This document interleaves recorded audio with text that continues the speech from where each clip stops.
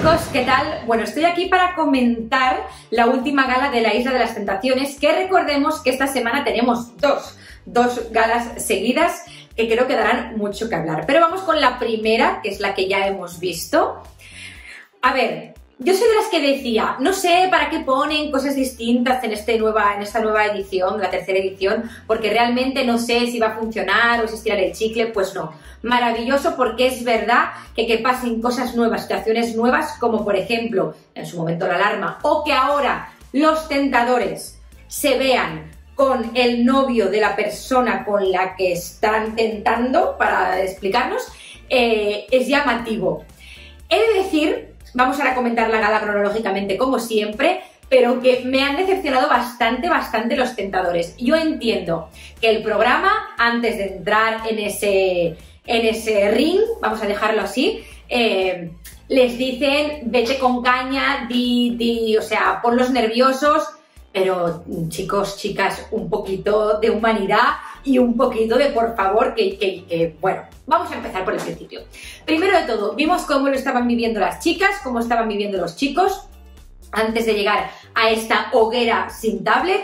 Los chicos, bueno, Jesús sigue ahí con Stephanie sin pasar a mayores, Diego igual con Carla, Hugo y Raúl eh, sin hacer absolutamente nada, respetando y amando a sus parejas.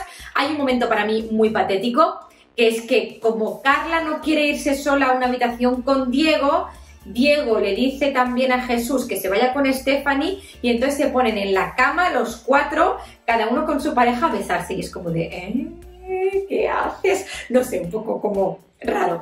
Las chicas, Lobo, Isaac, eh, eh, y Marina, mm, como siempre, súper bien y dándose la pasión. Esta pareja me gusta mucho, ya lo he dicho mil veces.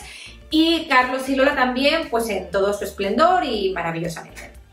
Antes de llegar a la hoguera de la tablet, aparte de ver estas imágenes, también vimos que expulsaban a algunos tentadores. los chicos expulsaron solo a una, porque como Fiamma ya no estaba, solo había que expulsar a una, y fue a Yana, creo que se llamaba, algo así. Eh, Yana, algo, Yana no se me da miedo equivocarme, pero bueno, algo así. Y luego los las chicas expulsaron, y esto cuidado que es importante, a dos. Javi, que era un chico que siempre veíamos ahí bailando y tal, pero que no había pasado de ahí. Y a otra persona que fue muy llamativo y trajo problemas su expulsión, Simone.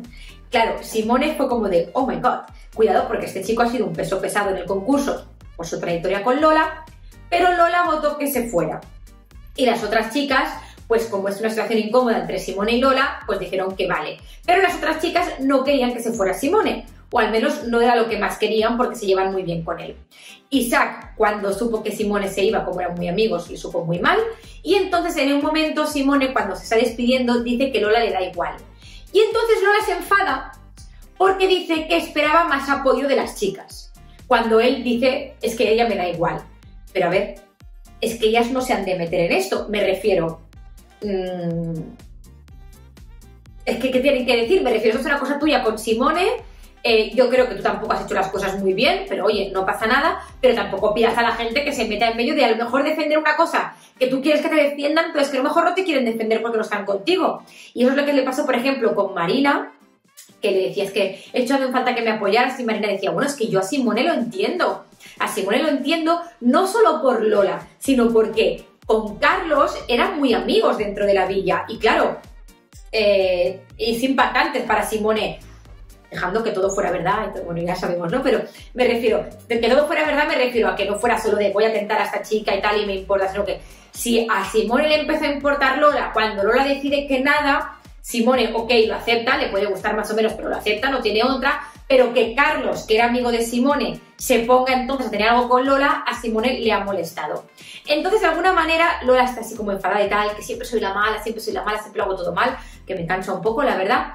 Y Carlos y Lola han hecho como una burbuja entre los dos y es como enemigos con toda la casa, ¿no? Es decir, ellos dos están juntos y toda la casa está como un poco... Mm, mal de alguna manera con ellos, ¿no? Incluso hay un momento en el que Isaac dice, bueno, es que yo tengo unos valores y a lo mejor tú tienes otros, ¿no? Le dice a Carlos como diciendo, yo no me liaría con eh, la novia de un amigo, ¿no? Y, Carlos como que se va dando un portazo como diciendo, estoy muy enfadado como salte la leoparda, ¿no?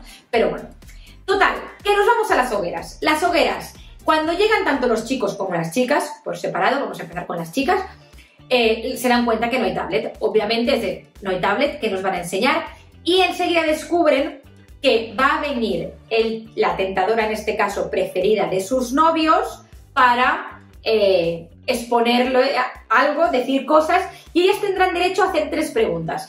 Tres preguntas que solo se pueden contestar con sí o no. La primera en llegar fue Carla, la tentadora de Diego, para hablar con Lola.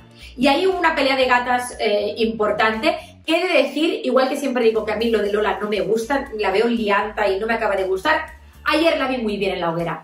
Porque Carla, ¿qué tiene que opinar de esto? Me refiero, tú puedes ir a decir, pues mira, yo estoy tentando a tu novio, estoy muy a gusto con él y tal, pero tú que te pongas a opinar sobre lo que está haciendo Lola con Carlos o con Simone, pero tú quién eres? Me refiero, tú quién eres que estás tentando a un chico que tiene novia y has entrado para eso. Me refiero, ¿quién eres tú para juzgar? Entonces, a mí ahí sí que me pareció muy bien Lola, que de alguna manera era como de, oye, ya me pongo yo los castigos que me tengan que poner, es decir, ya me pongo yo las piedras, ya me, ya me avergüenzo yo de, lo que me quiera avergonzar, pero tú no eres nadie para eh, meterte en lo que, lo, que no te llaman, porque es que realmente tú estate con Diego, estate muy contenta de que gracias a que yo eh, he hecho lo que he hecho, Diego ha dado el paso de querer estar contigo. Si no, no lo hubieras hecho y si tanto te gusta Diego, pues ya está. En las preguntas, yo quiero eh, rescatar una muy buena que le hizo Lola a Carla. Las preguntas estuvieron muy bien. Eh, por ejemplo, le preguntó, si yo no hubiera hecho nada, Diego hubiera dado el paso de hacer algo. Ella, Carla, dijo que no. Pero la pregunta que me pareció muy buena es cuando le dijo, tú, Carla, ¿te trasladarías, por ejemplo, a León? Ella es de Barcelona por amor, es decir, por Diego, y, Carla dijo enseguida que no. Y Lola dijo, pues Diego tampoco se iba a ir a Barcelona porque Diego es muy de su tierra, de su gente y tal, por lo tanto no le veo a futuro. La verdad es que fue interesante porque realmente es algo que nunca habíamos visto, cómo se enfrentaba la tentadora a la novia, por ejemplo, fue interesante.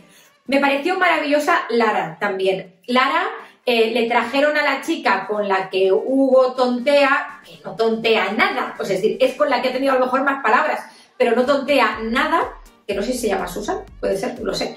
Eh, y entonces cuando llega no me gustó nada porque la tentadora realmente estaba mintiendo. Es decir, eh, cuando le preguntaba cosas como, yo qué sé, alguna pregunta como, ¿tú crees que tienes planes de futuro con, con Hugo? Sí.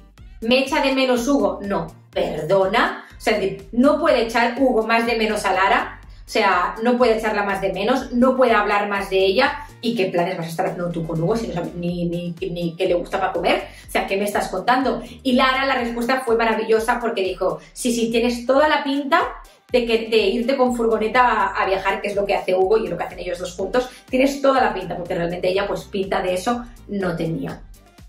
Eh, luego, eh, la tentadora que fue por Raúl, es la que habló, con Claudia y también estuvo muy bien porque una de las preguntas muy bien hechas que le hizo Claudia la tentadora fue si realmente creía que Raúl se iba a ir con ella. Y la chica, la tentadora, le dijo que sí.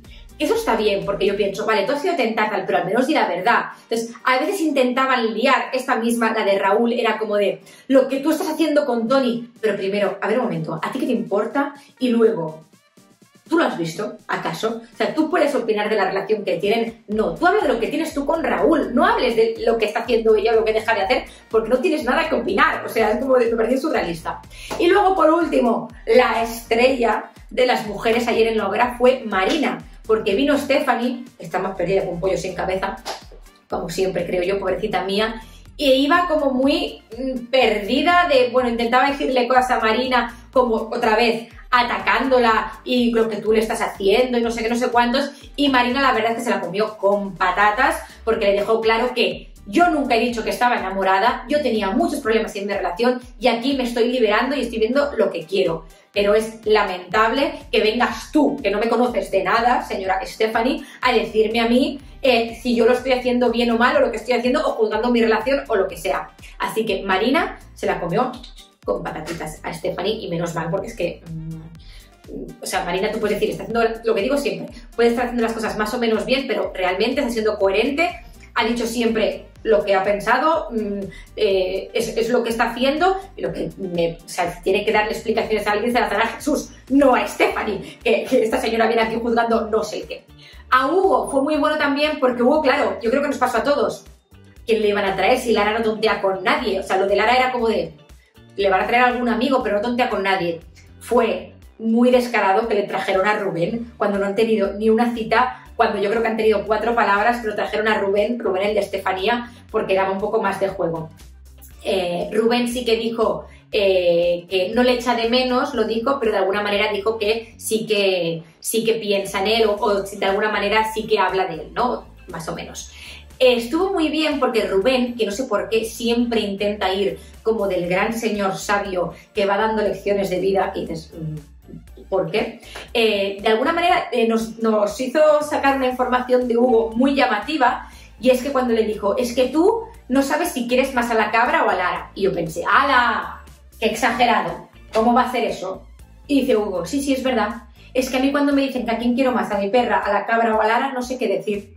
Dice, creo que podemos vivir todos juntos y querernos juntos. Y yo, Dios mío, a mí si me dices que no sabes si me quieres amigo a la cabra, más a mí cada cabra es como llamativo.